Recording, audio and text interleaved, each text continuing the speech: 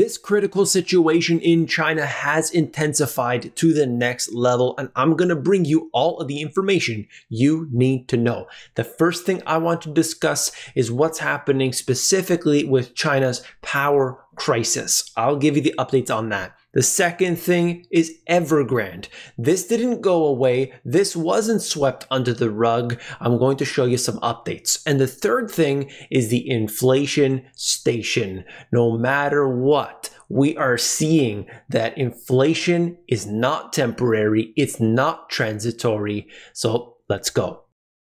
As usual, I've got way too much information, so for a few of these, I'm going to move through quick, just giving you the updates. China's thermal coal futures over the last few trading days has risen considerably. This is going back from January of this year, and you could see it was moving up just like all other commodities, but as soon as we moved into that August timeframe, it has rocketed basically straight up.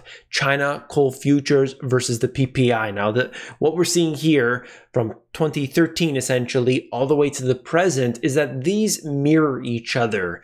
And if we can extrapolate this, essentially that this actually does happen, the producer price index is set to skyrocket. And what would that do to the prices of goods and everything that we've been seeing so far? It would be unbelievable. It would be catastrophic, even. Think about that. To suggest that this would go from an extremely hot 9.5% to potentially over 30 over 30%, this would be historic. So I'm going to keep covering it and I'll show you that information. So make sure that you are subscribed to this channel, all right? If you want to do it the easy way, just give a thumbs up because when you do, you're more likely to see my videos in the future a barometer of the progress towards the dual control targets in the first half of 2021, you could see what's going on with China's power crisis. It breaks it down into the areas that are, you know, worse off than others. Um, I'm not going to go through all of these, but just for you, for your own research for your own um, information, it is all in here, okay? That's important as we move into this next one. Heavy rains and flooding expanded mine shutdowns in China's biggest coal producing region, sending prices to a record and hindering efforts by Beijing to boost energy supplies for the winter. So, this is one problem on top of another. Floods have closed 60 of the 682 coal mines in I can't pronounce that, a region that has produced 30% of China's supply of the fuel this year, adding to a worsening energy crisis that threatens the country's economic growth. And you can see the image of what has happened here. This is pretty serious, okay? You don't get this every day. Certainly, there are problems. There's always going to be some sort of event that occurs. But on top of everything else, it's really exacerbating this big, big issue. So you could see geographically where this is. I pulled this from Bloomberg. Heavy rains causing flooding and loss of life in one of China's prominent coal regions. Okay, so that's where it's centered around. Take a look at this. Coal hits another record in China as floods deepen energy crisis. Thermal coal futures surge for a second day on tighter supply. This was updated on October 11th. You might be seeing this on the 12th, I would say, but either way, we're looking at it going up and up. Mine outages are complicating the effort to prevent blackouts. So let's take a step back. Looking at what had happened, you had seen across China, 20 different regions across China were experiencing blackouts. And that isn't good, of course, when the factories need to produce stuff to then have it shipped out. This is all having an impact, and we will see that further intensifying and creating even bigger bottlenecks, even bigger problems with the supply chain. And that ultimately means for you, you might say, who cares? Who cares about them? This means higher prices on your goods, whether we like it or not, because the input ingredients may be coming from China or products altogether. We got to know that what gets manufactured in China, pieces of these products then get shipped out to different countries, and then they add one screw or throw it in a box and say, hey, made in USA, made in Canada, made in the UK. That's the way it works. All right, take a look at this. China's power crisis prompts warning from the Rust Belt despite efforts to boost coal supply and manage electricity. Uh, Liaoning has been the biggest economy and consumes the most power of the three provinces, making up China's Rust Belt industrial region. It has been suffering widespread power cuts since mid September, and it issued its second highest level power shortage alert on Monday. So what I'm trying to show you here is that there's so many different levels to it, but at the same time, it is getting worse. And this isn't the only thing. Okay. The power crisis, that's big. That's the supply chain. That's some issues. But what about the financial system? Take a look. Evergrande crisis. Developer Modern Land, China, seeks debt extension to repay $87 million early. Beijing based developer seeks an extension on $250 million bond to avoid any potential payment default. That extension request comes as concerns continue to swirl about the potential Evergrande default and the Chinese property sector. Guess what? It's not just Evergrande, the fallout has begun. I know that these videos upset a few people based on some of the comments, but if you are not aware of what's happening, you are going to lose out on the, you know, the information, the knowledge, which I'm trying to unleash for people, to unveil for people. China's bond market slumps again as new Evergrande deadline passes. This is as of the 11th, the article anyway. Evergrande looks set to miss third round of bond payments. Some offshore bondholders have not had payment. Okay, I told you specifically I'm going to give you an update on this, and here I am delivering that for you. I said they didn't get payment. Now this is the third time. The third time, all right? Modern Land asks investors to push back the bond payment. Sinic warns it is likely to default next week.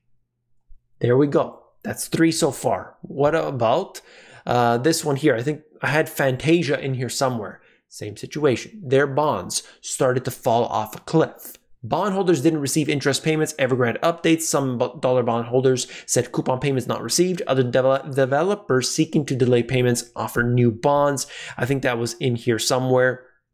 And they're mentioning modern land. They're mentioning this one over here. They're mentioning a few of them. The point here, yeah, there is Fantasia. They're are numerous companies and we're talking about you know small ones medium ones and in the case of evergrande large ones. So it's not just one or two. The problem is systemic and we can't just simply just cross our arms and say this is going to be taken care of by someone else. Oh don't worry the government's going to bail them out. The contagion is going to be an issue and it already is. This may not happen overnight. This may not be the next Lehman, but it is a problem. Let's be honest. And then you have this out of China. Crude steel production dropped quickly since June.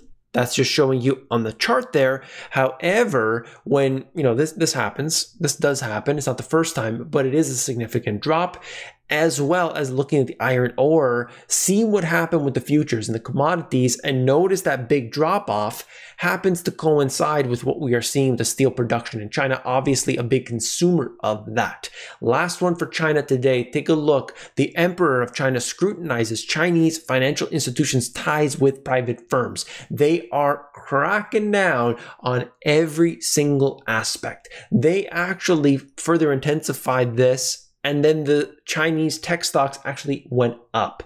Part of that is because of Charles um, uh, Munger. Munger went in with his other company, not Berkshire Hathaway, and went into a step further and actually uh, increased his position in Alibaba. So Charlie Munger did that. I think a lot of other investors started picking up on it. That's a totally different story. They're cracking down on every single level in the country, and I think you would probably do that when you want to. Um, you know, take some other actions. I'm going to leave it at that. I can't get into anything else. Let's talk about this further in the Money GPS insights. China's problems cannot be contained easily. Let's just say it.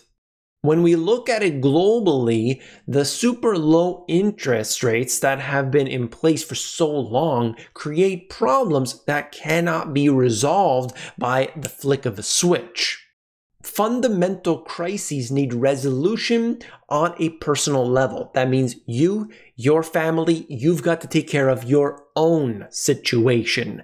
There's not going to be any Superman coming to save the individual. We need to take care of things as best we can. Quick note right here about Michael Burry, what he had to say on his Twitter. Also, let me know what you think of Michael Burry. Put it in the comment section down below. Let's talk about him. Should we be even paying attention to him? Let me know. The Fed, by insisting inflation is transitory, freezes companies from offering much higher wages that may become permanent, thereby creating more inflation through shortages and worker shortages, union strife, and now creating an oil spill. So this was from a few days ago, and I just thought it would be interesting to put this right here before we get into the rest. We're talking about Kraft Heinz. I showed you multiple occasions where this company and a few others said we are raising our prices. And now people will have to get used to higher food prices according to the boss of Kraft Heinz. Simple matter of fact. Quote, we are raising prices where, where necessary around the world, saying inflation was across the board. If you are seeing higher prices, hit that thumbs up button. Let me know. By hitting the thumbs up button, that's going to let me know that the prices are rising. Right there, click it. Thank you. Gas prices skyrocket as the global energy crisis worsens. Then we have this. Yet another worry. Price of ship fuel is now at the highest since 2014. Bunker surcharges on the rise for shippers of containerized cargo. Everything to do with, sh- with shipping, freight, everything is up. You know that. Then we have the global fertilizer prices. I talked about this specifically in the Money GPS trifecta method of investing, which is on my channel in the playlist uh, that you could see. If you scroll down, you will see that. I specifically noted fertilizer. Different story.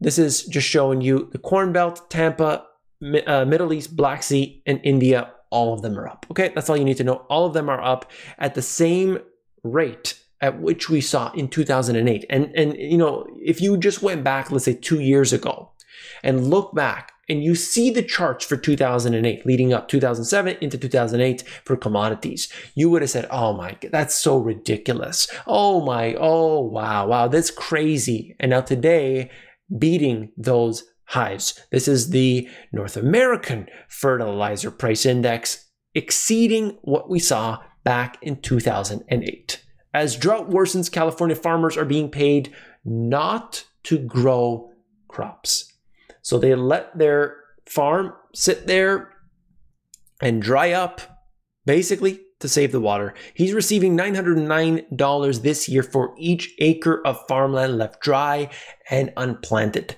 And the water is staying in Lake Mead.